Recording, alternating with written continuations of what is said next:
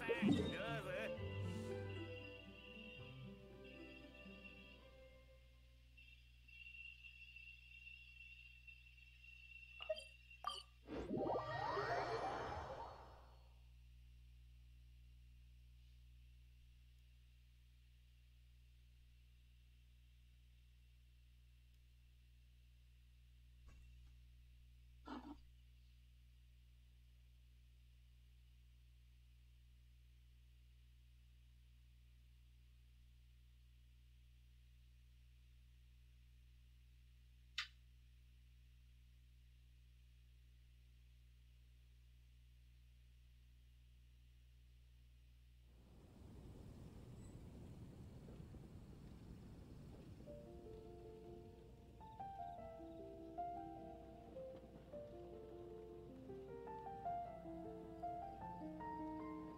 と人の情は時に衝突し時に通じ合う。それぞれの利害を天秤にかけるのは実に難しいことだ。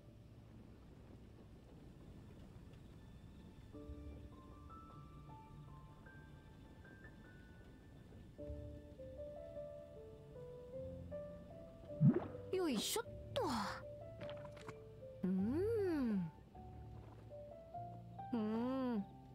総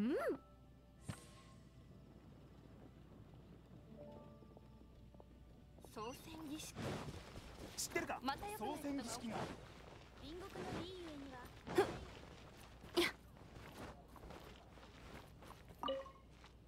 最高だ。キャッツテールの酒は実にあああ旅人か。どうした？もしかしてキャッツテールを知らないのか？まあその感じじゃ聞いたことも言ったこともなさそうだな。お前それは人生損してるよ。キャッツテールには面白いドリンクがたくさんあってな。きっと旅人が飲んだことないものばかりだと思うぞ。しかも店名の通り可愛い猫たちが店内にいるんだ。可愛い猫に囲まれながら美味しいドリンクを飲めばあっという間に時間が過ぎていく。うん未成年に見えるけど。あでも大丈夫か。あのディオナっていう子はモンドで最高のバーテンダーだからな。ノンアルコールのドリンクくらいパパッと作ってくれるさ。それにあの子もすごく可愛くてな。まるで子猫みたいで。うん。ディオナには内緒にしてくれよ。とにかくキャッツテールはすぐそこだ。気になるなら行ってみるといい。俺はその辺で酔いを覚ましてくる。今の俺にはご次会は無理だ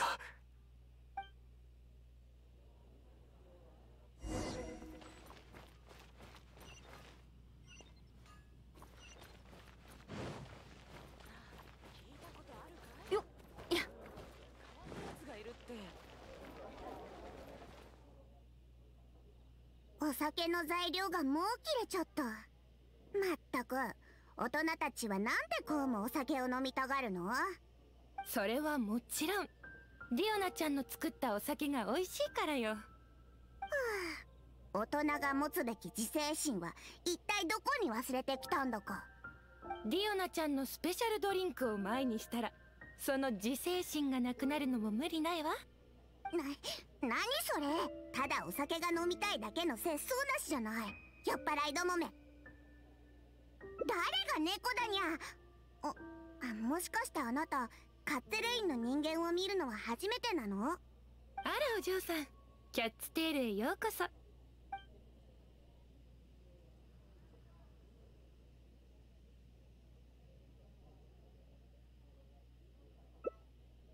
猫？うちには確かに可愛い子猫がたくさんいるわよ。子猫は愛らしいものね。多くのお客さんが君と同じように猫目当てで通ってくるくらいだもの。何せキャッツテールみたいに猫と触れ合える場所なんてモンド城にそうないから。猫なんて選ぶっててわがままで何が愛らしいの？酒場は飲みに来る場所でしょ？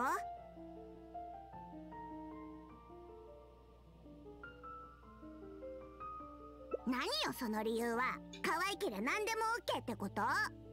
お店に来る人の反応を見るに。確かにそれが一番の理由でしょうね。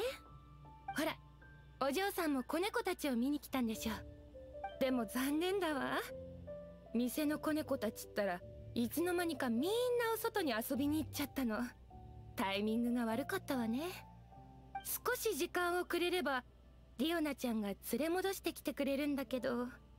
私がいつあのいたずらっ子たちを連れ戻すって言ったにゃ。これも店の仕事の一環よ。それにあの子たちもディオナちゃんに懐いてるからディオナちゃんがやってくれた方が楽じゃない？どうせ暇を持て余していつも通りどこかの誰かに甘えてるだけだと思うけど。うーんそうかしら。どちらにせよ子猫たちのことはディオナちゃんに任せたわよ。お客さんは子猫目当てで来たのよね。それならよければディオナちゃんと一緒に子猫たちを探しに行ってくれないかしら。子猫たちと仲良くなれば君に懐いて甘えん坊な姿を見せてくれるかもしれないわよ。今回お外に行っちゃったのはロジャーとネルソン。それにペイズリーね。ディオナちゃんはいつもお世話をしているからよく知っているわよね。またあいつらか。勤務時間にこっそり抜け出すなんてお店の猫として自覚がないんだからまったく。まあ子猫たちがみんなディオナちゃんみたいに頼もしいわけじゃないからね。私は猫じゃにゃい。とにかく連れ戻せばいいってだけの話でしょ。それくらい簡単にゃ。早速出発するわよまずは商店街の方からね。あいつらあの辺りがお気に入りなの。それじゃ頼んだわよ。私は店番してるから子猫たちのことよろしくね。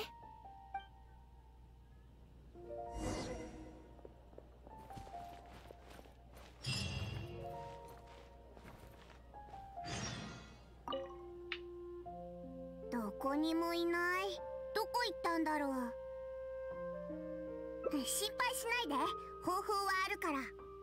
あの猫たちはわがままだけどそのおかげで逆に分かりやすかったりもするの。まずはマージョリーさんのところに行こう。前にロジャーが自分のおもちゃを壊しちゃったから私が新しいのをオーダーしておいたの。ひょっとしたらおもちゃがないせいでお店を抜け出したかもしれないから。く詳しいも何も。ただあいつらには仕事に専念してほしいだけでただそれだけには。ほほらマージョリーさんのところに行こ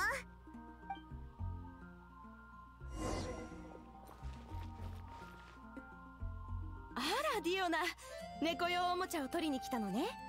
オーダー通り補強しておいたから長持ちすると思うわよ。ううんありがとう。お金はマーガレットさんが払いに来るから。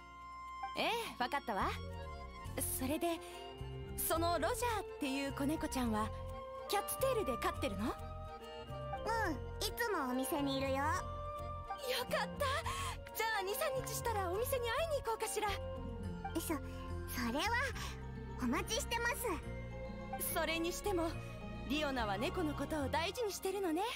猫用おもちゃを作るために丁寧に材料までリストアップしちゃって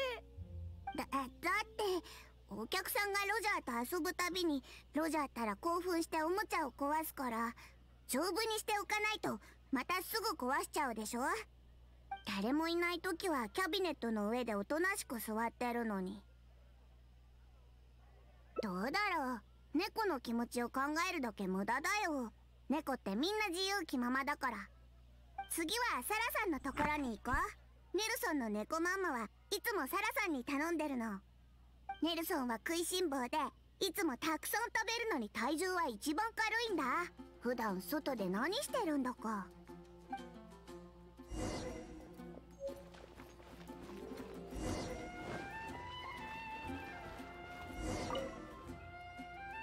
鹿狩りへようこそ。あれ？ディオナ？どうしました？サラさん前と同じ猫ママをちょうだい。ああネルソンでしたっけ？ご飯が切れちゃったんですね。少々お待ちください。今用意しますから。はいこちらをどうぞ。大した材料は使ってませんから。お代は結構です。その代わり今度時間がある時に子猫ちゃんを連れてきてくれませんか？ぜひ触ってみたくて。ねネルソンに聞いてみる。大丈夫。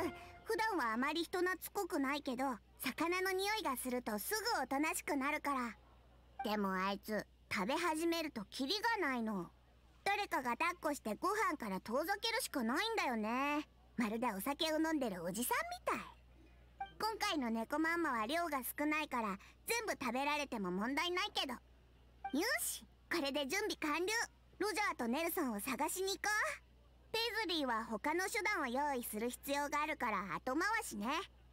ロジャーは高い場所が好きだから。うんきっとどこかの屋根の上にいると思う。ねえあなた屋根に登れる？無理だったら私がやるから下で見てて。本当？そうは見えないけど。でも自信があるなら一緒に屋根に登ってロジャーを探そう。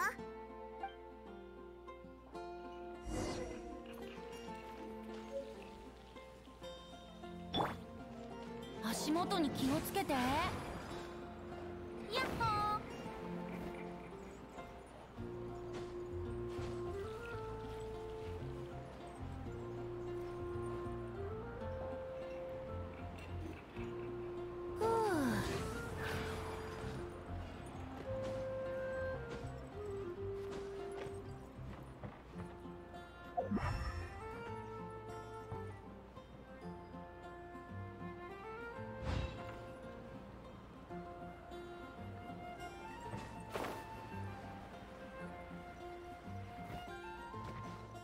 ふわっ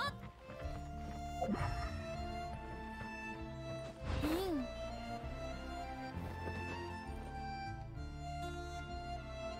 待って。あれがロジャーだよ。あいつあんな高いところに登って。近づいちゃダメ。驚いて逃げちゃう。さっき準備したものは覚えてる？今こそそれの出番だよ。ロジャーには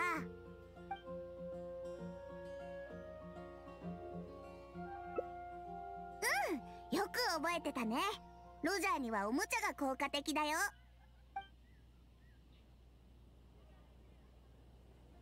うわー警戒心ゆるゆる。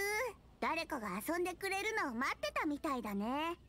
普段は偉そうにしてるのに人を見ると甘えちゃって。ずるいやつ。店に来たお客さんが真っ先にこいつの居場所を聞くのもうなずける。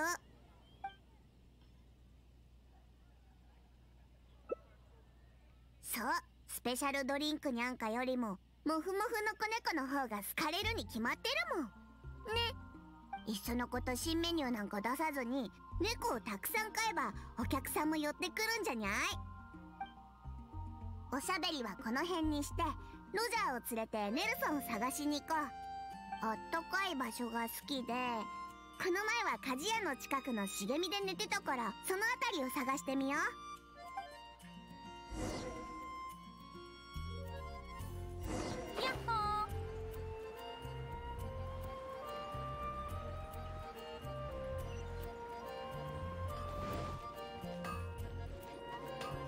なんてまだまだだ。な好きなものを選ぶといい。やっぱりここにいた。気持ちよさそうにうとうとしちゃって。お店よりもここの方が居心地がいいってこと？じゃあさっき用意したものを出して。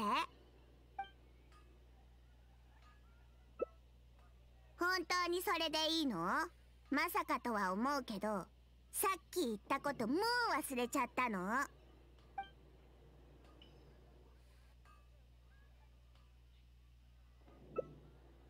記憶をなくしちゃったのかと思ったよ。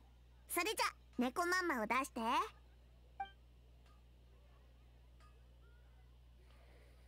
猫ママを見ただけでこんなに喜ぶなんて。いつもお客さんから美味しいものをいっぱいごちそうしてもらってるのに。食いしん坊なやつ。なんでみんなこいつを甘やかしてご飯をあげるんだか。ひょっとしてわざとお腹が空いたふりをしてお客さんたちを騙してるとか？ずる賢いやつ。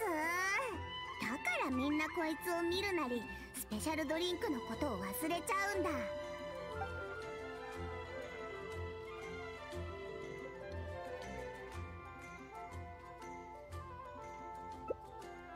こいつみたいに？できっこにゃい？なんならお店に行って猫を増やした方がいいかもね。私のドリンクなんかよりもよっぽど人気だし。さこいつを抱いてあげて。大丈夫？軽いから。食いしん坊なのにどうやって体重をキープしてるんだか。よし次はペイズリーの番だね。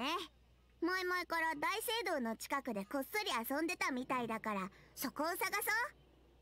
ペイズリーは何派でもない。詳しい話はついてからにしよう。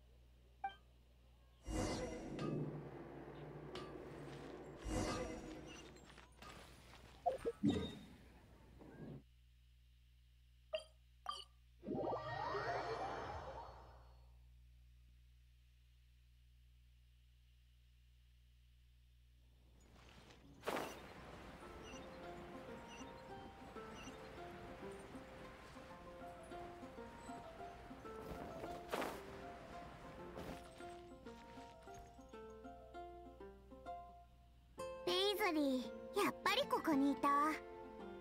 あいつにはどんな手も通じないの。好きになるものに傾向がなくて自分の気に入ったものだけをただ好きになる。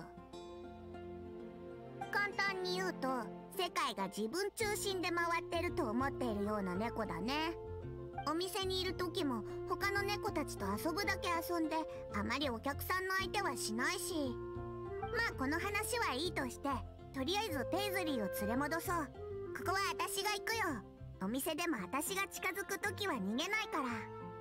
おい何そのやる気満々な表情は。言っておくけどペイズリーは知らない人には懐かないよ。全然反応がない。それじゃ私と交代ね。ペイズリー。よしよし。いい子いい子。よっと。ふこれでよし。おとなしい時は可愛いじゃない。に何よその目は。こいつが私に懐いてるのは単に。私がずっと世話をしてたからであって。っていうかこんな性格の猫も人気があるなんて。尻尾を振るだけでみんなモラを貢いでもいいって顔しちゃってさ。こんな子猫が何匹も増えた日にはキャッツテールのバーテンダーも必要ないね。猫の世話をしていればお客さんが来るんだから。あなたもそう思ってるんだ。今から帰って伝えてみる。猫を増やしてドリンクなんか二の次にしようって。それじゃこの猫たちはあなたが責任持って店に連れてってあげて。どうせあなたも猫が目的で来たんでしょ？私は先に帰るから。私は早く帰って里親を募集してる猫とかを探さないといけないから。お客さんのためにもね。ドリンクなんか全然重要じゃないことが分かったし。ふんだ